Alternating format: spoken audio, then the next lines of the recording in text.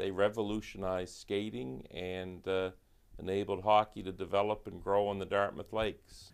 These stones in downtown Dartmouth marked the spot where the Starr manufacturing plant once stood.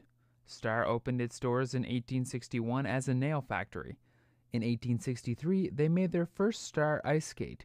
The business grew. Millions of pairs were bought all around the world. Martin Jones wrote about Starr in his best selling book, Hockey's Home.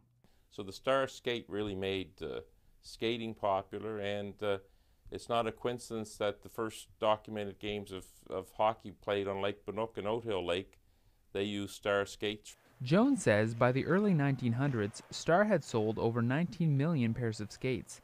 He says in today's numbers, that would be like selling 70 million pairs. The King of Spain had a gold uh, pair of Starr, Starr skates. The revolutionary clip on design allowed skaters to turn faster. Paul Berries played hockey his whole life. Well, uh, I grew up, like most kids in Dartmouth, I grew up playing uh, on Lake Banook, and Starr Manufacturing was in the forefront of making hockey sticks and skates, and uh, so it's an important part of our heritage. It, it, it's kind of an honor and it's a privilege, and more people should know about it. I don't think they do. The plant used water from the Shubenacadie Canal to power its turbine.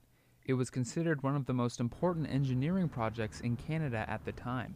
Gordon Stevens owns Lost Cod Clothing Company. They make Starr Skate branded clothing. He says it's important to keep the memory of the company alive.